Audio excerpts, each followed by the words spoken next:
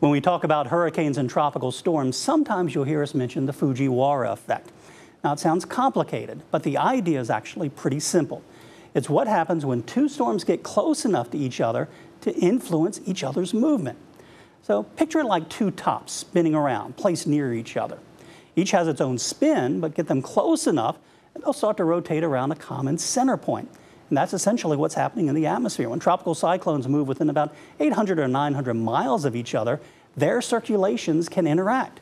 And instead of following their usual paths, they begin to orbit around that shared center. Sometimes the effect is mild and the storms just dance around before heading on their separate ways. Other times, one storm can absorb the other, or their interaction can pull them on a track that's totally different than the models first suggested. And there have been some somewhat recent examples of this occurring in real time. In 2023, Rina and Philippe danced around, but it was more pronounced in 2017 with Hurricane Hilary and Tropical Storm Irwin, and in 2016 with Hurricane Matthew and Tropical Storm Nicole. So the Fujiwhara effect isn't common, but when it does happen, it creates a fascinating tug of war in the tropics. Two powerful systems literally pushing and pulling on each other in the atmosphere.